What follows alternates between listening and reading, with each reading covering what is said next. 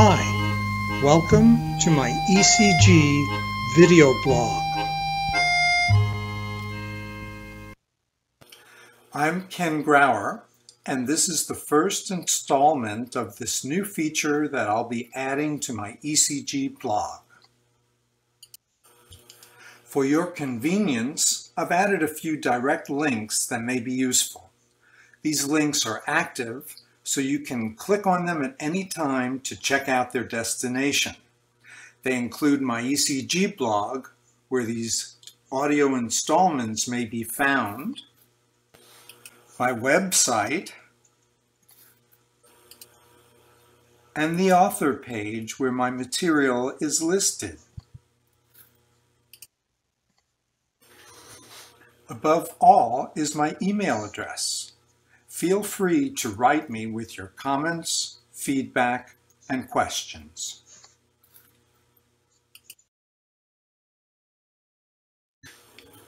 On to today's case. Here's the rhythm, but there is no history. How would you interpret this rhythm strip? Additional questions to consider are the following. Is there AV block or something else? For example, sick sinus or non-conducted PACs. How can we tell if there is AV block? And if there is block, what type of AV block is present?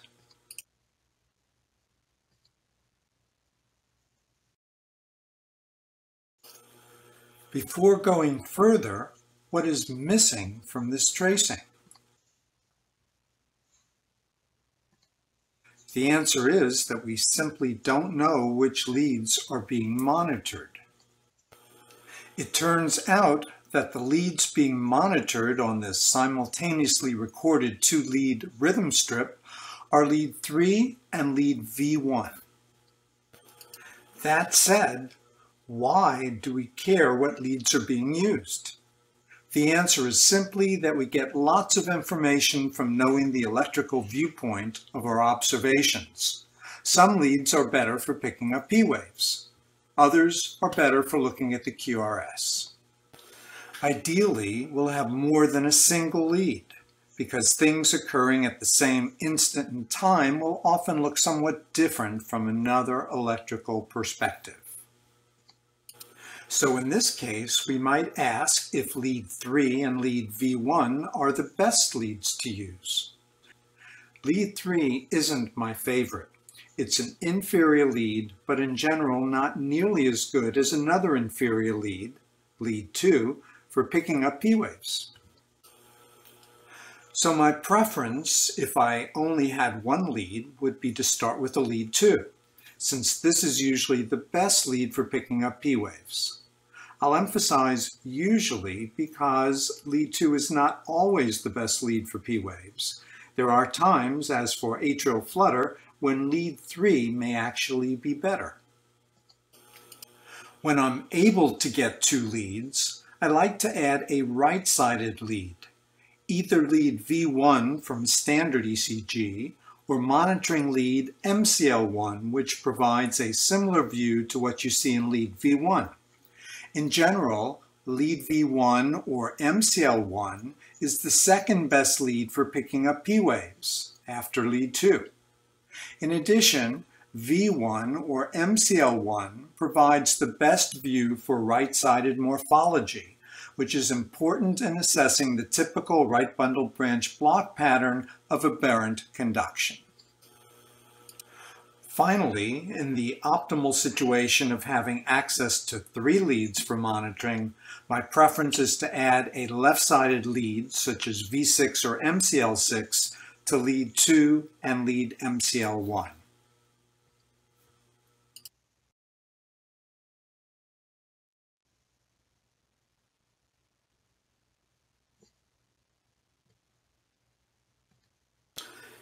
At this point, we might ask a more fundamental question, which is, is there atrial activity in the form of P waves?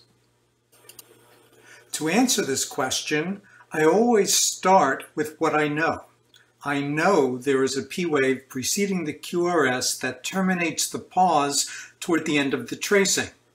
This is marked by the red arrow. It also looks like there is a P wave preceding the last beat on this tracing, as suggested by the blue arrow. So there is at least some atrial activity. Having said that, if all we had was a single monitoring lead, I would not be certain whether additional P waves are present. The amplitude of atrial activity is quite small in this tracing, and I'm just not certain if there is or is not atrial activity during the early part of this tracing. Fortunately, we have two simultaneously recorded leads. Let's use them.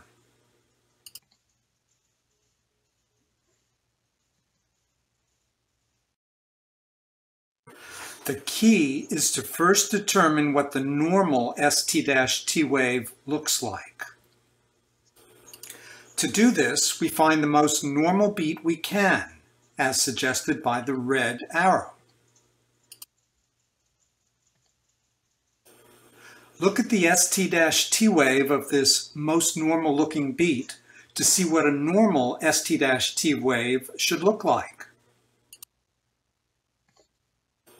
Note that this normal ST-T wave looks relatively flat, as suggested by the red circle.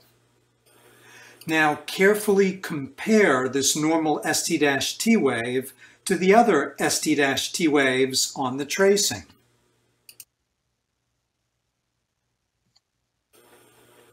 Is there a difference?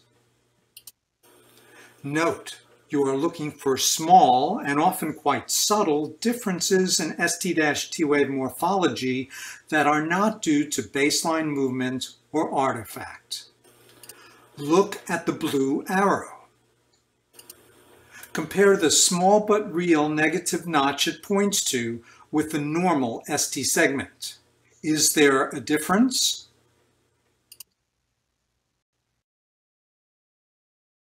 So, you are looking for subtle but real differences in the ST-T wave that indicate atrial activity, but which are not due to baseline wander or artifact. Determining whether any differences seen are real and not the result of artifact is not always an easy task. I always suggest numbering the beats on any complex rhythm strip that you wish to discuss. This is easy to do, and is really the only way to be sure we are all talking about the same thing. We said that beat number 10 is a normal beat, red arrow. Note that this normal ST-T wave looks relatively flat, as suggested by the red circle. In contrast, the ST-T wave of beat number 9 has a small negative notch, blue arrow.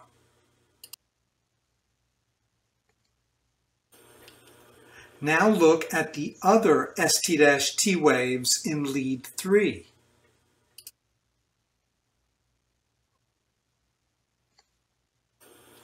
The reason I think this is real is that the ST-T waves of beats number 1 through 8 and lead 3 all seem to vary in a way that suggests they are hiding atrial activity, as per the green circles.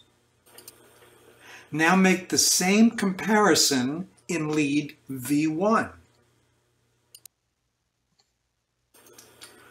The T wave of beat number 10 in lead V1 is again flat the ST-T wave of virtually all the other beats in this bottom tracing manifest a small negative notch with slight variation in the timing of this notch. We suspect that there are lots of P waves on this tracing.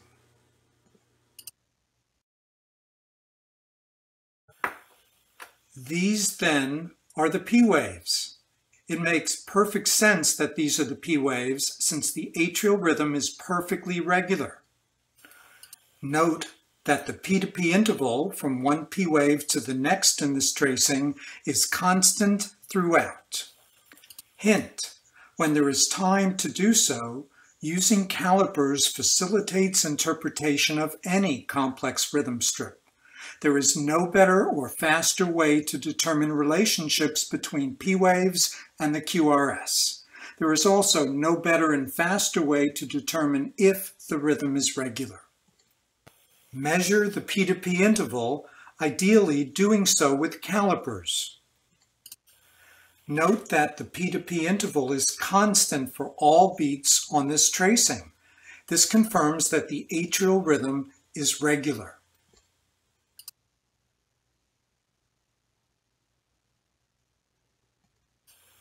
One of the key points to remember about the ECG diagnosis of AV block is that the atrial rate should be regular, or at least fairly regular. There may be slight variation in the atrial rate due to underlying sinus arrhythmia or ventriculophasic sinus arrhythmia, but by and large with AV block, there will be a regular atrial rate. When there are pauses, but the atrial rate is not regular, then I think about things like PACs or blocked PACs, and or the sinus pauses or exit block common with sick sinus syndrome.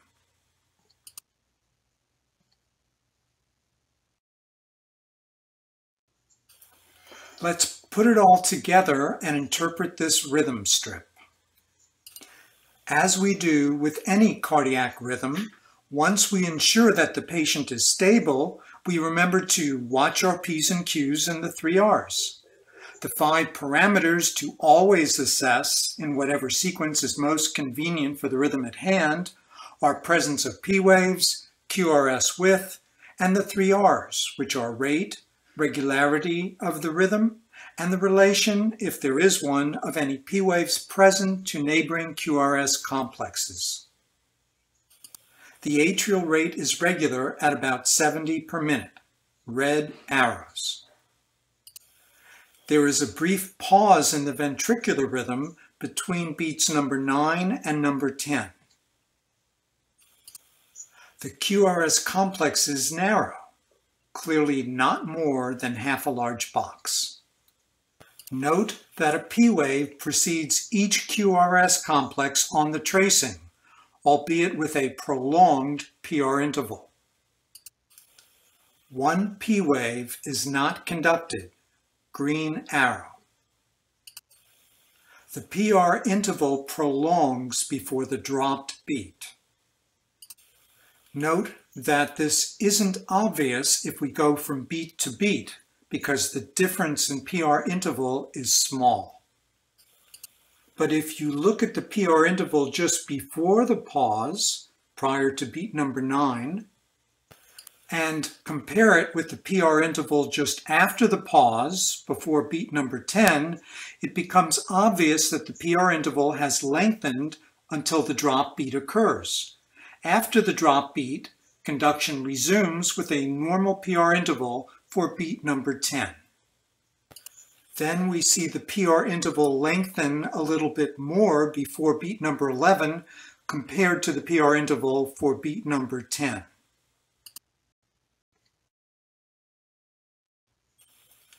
In conclusion, this is not an easy tracing to interpret. We use the same P's, Q's, and 3R approach as for any other rhythm. The atrial rhythm is regular but a beat is dropped.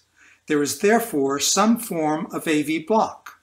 We know that the slight pause is not due to a blocked PAC or a sinus pause because the atrial rhythm is regular. The pearl from today is to be aware that with long Wenckebach cycles, you may not see any obvious difference in PR interval from one beat to the next. So we look at the PR interval right before the pause and right after the pause. Doing so makes it obvious that this rhythm is second degree AV block type 1, which is a synonym for AV Wenckebach. We hope you have enjoyed this case. Your feedback, comments, and questions are welcome. This is Ken Grauer signing off.